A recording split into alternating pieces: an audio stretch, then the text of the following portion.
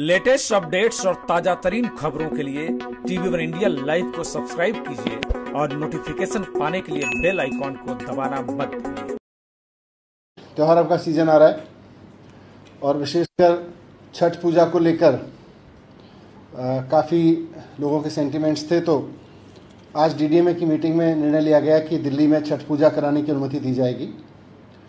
और बहुत strict protocol के साथ पहले से निर्धारित जगहों पर जो सरकार द्वारा निर्धारित जगह तय की जाएँगी सीमित संख्या में लोगों को शामिल करके कोविड प्रोटोकॉल्स को पूरी तरह से फॉलो करते हुए मास्क लगाते हुए